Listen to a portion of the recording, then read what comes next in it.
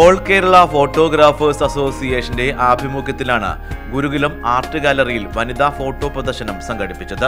ആറ് വനിതാ ഫോട്ടോഗ്രാഫർമാരുടെ ഫോട്ടോകളാണ് പ്രദർശനത്തിലുണ്ടായത്. പുഴയും കാടും തെരുവും തീർക്കുന്ന ദൃശ്യവിസ്മയങ്ങളിൽ മാതൃസ്നേഹത്തിന്റെ അടയാളപ്പെടുത്തലാണ് പ്രതിഫലിച്ചത്.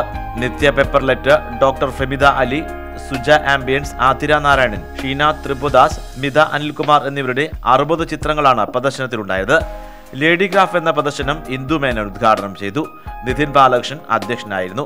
വിവിധ മേഖലകളിൽ തിളങ്ങിയ സ്ത്രീകളെ ചടങ്ങിൽ ആദരിച്ചു. ഈ മാസം പത്തിന് പ്രദർശനം സമാപിക്കും. മാർച്ച് എട്ടിന് വനിതാ ദിനത്തിൽ Nadakkavu unit A K P A Nadakkavu യൂണിറ്റിന്റെ നേതൃത്വത്തിൽ A K P A Nadakkavu യൂണിറ്റിന്റെ നേതൃത്വത്തിൽ നടത്തിയ വനിതകൾക്കായുള്ള ഒരു ഫോട്ടോ പ്രദർശനമാണിത്. ഞങ്ങൾ ആറ് വനിതകൾ ചേർന്നിട്ടാണ് ഈ ഫോട്ടോ പ്രദർശനം എക്സിബിഷൻ ഒരുക്കിയിരിക്കുന്നത്. അത് നടക്കാവ് യൂണിറ്റിന്റെ ഒരു സഹകരണ അത് നടക്കാവ് യൂണിറ്റാണ് ഇതിന് നേതൃത്വം നൽകിയിട്ട് ചെയ്തിട്ടുള്ളത്.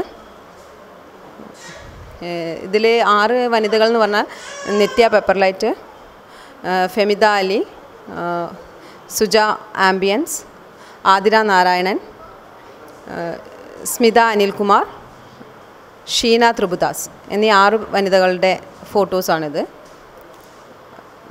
വനിത വെച്ചാൽ നമ്മൾ ഫോട്ടോഗ്രാഫി നമ്മൾ വനിതകൾ വളരെ കുറവാണ് ആൾക്കാർ ഇതിലേക്ക് വരുന്നത്. അപ്പം ഇങ്ങനെ ഒരു പ്രദർശനം നടത്തുന്നതോട് കൂടിയിട്ട് എ കെ പി എ സംഘടന ഉദ്ദേശിക്കുന്നത് ഇതിലേക്ക് കടന്നു വരുന്ന വനിതകൾക്ക് ഇതൊരു പ്രോത്സാഹനവും ഒരു ഊർജവും ഒക്കെ ആവണം എന്നാണ് ഞങ്ങൾ കരുതിയിട്ടാണ് ഇങ്ങനെ ഒരു വനിതാ ദിനത്തിൽ തന്നെ ഇങ്ങനെ ഒരു സംരംഭം ചെയ്യാൻ സാധിച്ചതിൽ ഒരു പ്രദർശനം നടത്താൻ സാധിച്ചതിൽ A K P A Nadakkavu യൂണിറ്റിന് വളരെ അഭിമാനമുണ്ട്.